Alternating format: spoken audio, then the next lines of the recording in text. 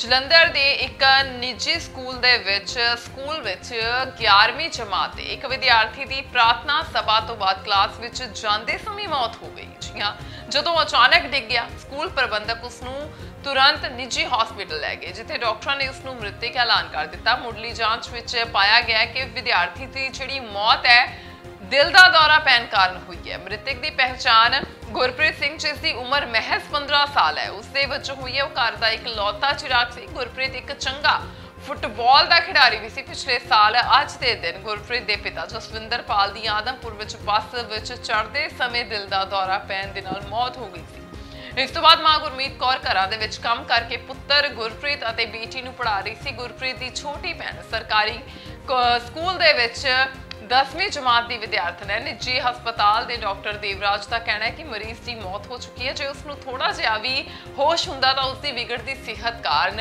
ਦੇ ਸੰਕੇਤ ਮਿਲ ਸਕਦੇ ਸਨ, ਪਰ ਅਜਿਹਾ ਨਹੀਂ ਹੋਇਆ। ਅਜਿਹੇ ਵਿੱਚ ਮੌਤ ਦਾ ਕਾਰਨ ਪੋਸਟਮਾਰਟਮ ਤੋਂ ਹੀ ਸਪਸ਼ਟ ਹੋ ਸਕਦਾ ਹੈ। ਅਚਾਨਕ ਮੌਤ ਦੇ ਕਈ ਕਾਰਨ ਹੁੰਦੇ ਨੇ। ਇਹ ਸਾਇਲੈਂਟ ਹਾਰਟ ਅਟੈਕ ਵੀ ਹੋ ਸਕਦਾ ਹੈ। ਇਸ ਤੋਂ ਇਲਾਵਾ ਜਿਹੜਾ ਜਨਮ ਸਮੇਂ ਸਰੀਰ ਦੇ ਵਿੱਚ ਹੋਣ ਵਾਲੀ ਕੋਈ ਵੀ ਸਮੱਸਿਆ ਵੀ ਇਸ ਦਾ ਕਾਰਨ ਹੈ ਜਿਹੜਾ ਹੋ ਸਕਦੀ ਹੈ। ਅਪਡੇਟ ਲੈ ਕੇ ਰੂਬਰੂ ਹੋਵਾਂਗੇ, ਜੁੜੇ ਰਹੋ, ਲੁਧਿਆਣਾ ਲਾਈਵ ਨਾਲ।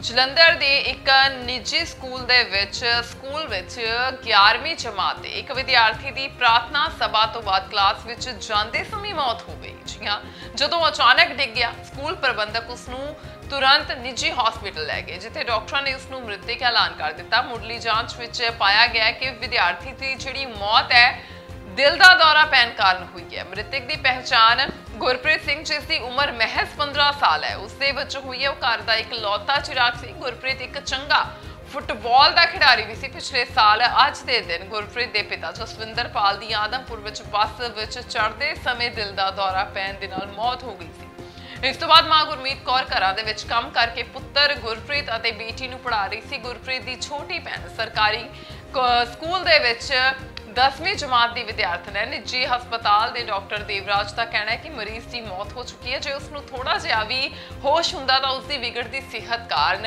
ਦੇ ਸੰਕੇਤ ਮਿਲ ਸਕਦੇ ਸਨ, ਪਰ ਅਜਿਹਾ ਨਹੀਂ ਹੋਇਆ। ਅਜਿਹੇ ਵਿੱਚ ਮੌਤ ਦਾ ਕਾਰਨ ਪੋਸਟਮਾਰਟਮ ਤੋਂ ਹੀ ਸਪਸ਼ਟ ਹੋ ਸਕਦਾ ਹੈ। ਅਚਾਨਕ ਮੌਤ ਦੇ ਕਈ ਕਾਰਨ ਹੁੰਦੇ ਨੇ। ਇਹ ਸਾਇਲੈਂਟ ਹਾਰਟ ਅਟੈਕ ਵੀ ਹੋ ਸਕਦਾ ਹੈ। ਇਸ ਤੋਂ ਇਲਾਵਾ ਜਿਹੜਾ ਜਨਮ ਸਮੇਂ ਸਰੀਰ ਦੇ ਵਿੱਚ ਹੋਣ ਵਾਲੀ ਕੋਈ ਵੀ ਸਮੱਸਿਆ ਵੀ ਇਸ ਦਾ ਕਾਰਨ ਹੈ ਜਿਹੜਾ ਹੋ ਸਕਦੀ ਹੈ। ਅਪਡੇਟ ਲੈ ਕੇ ਰੂਬਰੂ ਹੋਵਾਂਗੇ ਜੁੜੇ ਰਹੋ ਲੁਧਿਆਣਾ ਲਾਈਵ ਨਾਲ।